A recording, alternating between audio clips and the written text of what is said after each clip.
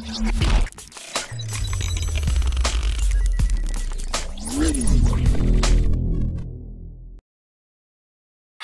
இந்த வருஷம் நடக்க இருக்க ஐபிஎல் மேட்ச் ஆனது ஏப்ரல் ஏழாம் தேதி ஸ்டார்ட் ஆகி மே மாசம் இருபத்தி ஏழாம் தேதி வரைக்கும் நடக்க இருக்கு. அது மட்டும் இல்லாம இந்த வருஷம் ஐபிஎல் மேட்ச்ல எட்டு அணிகள் விளையாட இருக்காங்க. அணிகள் தங்களுக்கு தேவையான அணி வீரர்களை ஏலம் மூலமா தேர்ந்தெடுத்துக்கிட்டாங்க. இந்த ஏலத்துல எதிர்பாராத நிறைய விஷயங்கள் நடந்துச்சு. இதை தொடர்ந்து ஐபிஎலோட முதல் போட்டியிலேயே மும்பை இந்தியன்ஸ் அணியும் சென்னை சூப்பர் கிங்ஸ் அணியும் விளையாட இருக்காங்க. இதனால இந்த மேட்சுக்கு அதிக எதிர்பார்ப்புகள் ஏற்பட்டிருக்கு.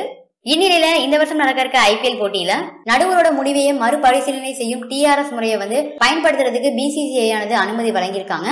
வெளிநாடுகள்ல இதுக்கு முன்னாடி இந்த டிஆர்எஸ் முறையை பயன்படுத்திட்டு இருந்தாங்க. அப்ப இந்திய கிரிக்கெட் வாரியமானது இதுல டிஆர்எஸ் முறையில எங்களுக்கு நம்பிக்கை இல்லை அப்படின்னு சொல்லிட்டு இதை பயன்படுத்தல. அதுக்கப்புறம் கொஞ்சம் கொஞ்சமா test T twenty one day மேட்ச்ல எல்லாம் டிஆர்எஸ் முறையை பயன்படுத்திட்டு இருந்தாங்க.